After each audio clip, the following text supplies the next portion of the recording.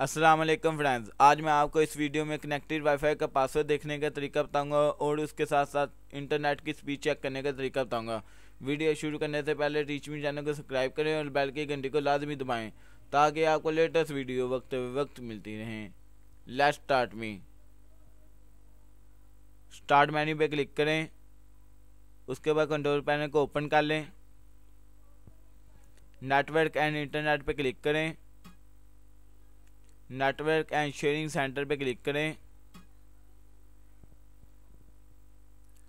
Wireless network connection पे click करें।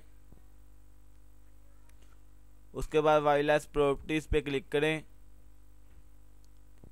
इधर आपको टू ऑप्शन मिलेंगे कनेक्शन एंड सिक्योरिटी सिक्योरिटी के अंदर जाके शो करेक्टर को अनेबल कर दें।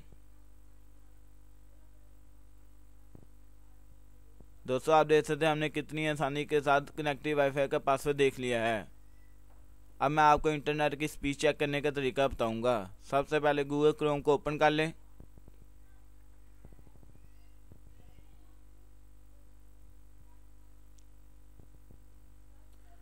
सर्च बार में टाइप करें फास्ट डॉट कॉम